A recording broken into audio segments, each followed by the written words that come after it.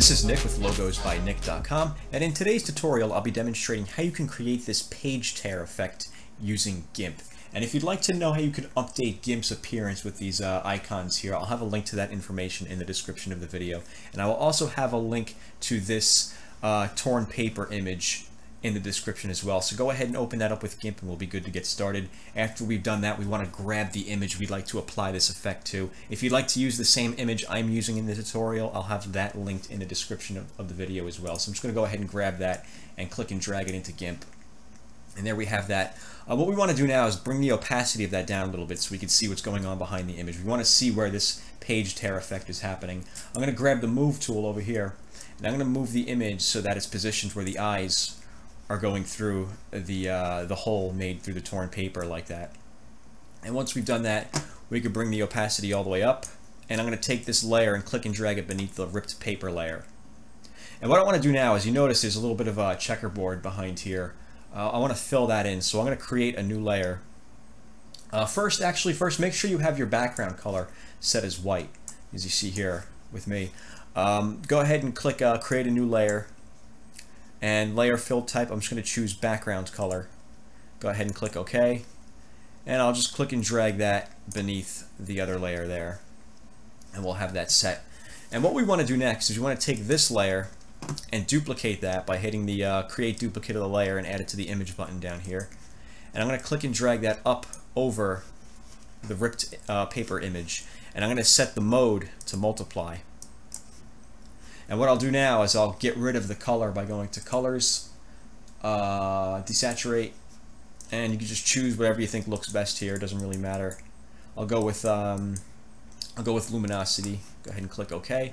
And what we want to do now is get rid of this open area where the page tear is, hap uh, uh, is happening because if you, if you toggle the view on and off, you notice it's affecting the color and the composition a little bit. So what I'm going to do is I'm going to go to the uh, ripped paper layer. I'm going to right click that and go to alpha to selection and th then I'm going to invert that by going to select, invert, and then I'll click on the uh, the model um, image up here, the black and white one, and just press delete on the keyboard. If you're using Mac, you can go to edit, clear. Otherwise, if you're using Linux or Windows, delete on the keyboard will work just as well. And once we've done that, we can go to select, none. And what I want to do now is I want to go back um, I want to click on this background layer here. If you notice, there's a little bit of a border showing through around the image. So to get rid of that, I'm going to grab the eraser tool. I'm going to grab the softest brush over here, which is hardness 025. I'm going to bring the size of this really big, like you see here on my screen. I have it set to like 495. I'm going to click back on that black and white layer, and maybe I'll make that a little bit bigger. And I'm just going to very lightly brush out the border there so that it kind of fades in. It kind of transitions nicely into the rest of the image. And if you click back on the background layer, you should be able to see, no, that didn't really go through. Let me try that again. I might have to make the brush a little smaller. Yeah, I might have to make that a little smaller. Try that again. Let me see how that looks. Okay, now, now that looks good.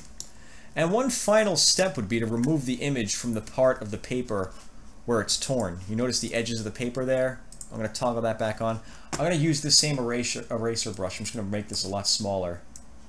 And I'm just going to go and, oops, wrong layer. Click on the uh, model layer and go ahead and just remove some of the image off of that. Uh, maybe I'll make that a little bigger. Off of the torn parts of the paper. Like that.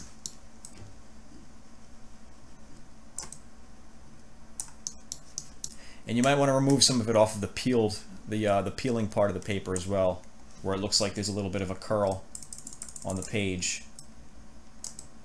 We'll go like that. zoom out a little bit. Let me soften that up a bit.